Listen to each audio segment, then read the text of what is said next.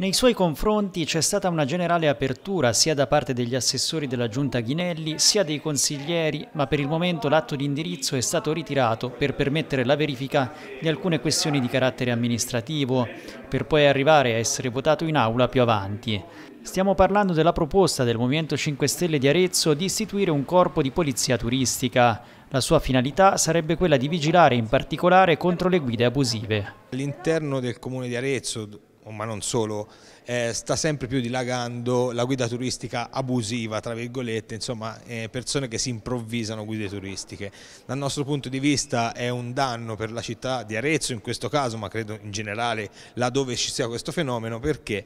perché eh, il turista che viene e dà una spiegazione corretta, puntuale, competente della guida turistica ovviamente ha un ritorno positivo. Al contrario, se la guida turistica è improvvisata, nonché abusiva, quindi sarebbe anche quello grave, crea anche un danno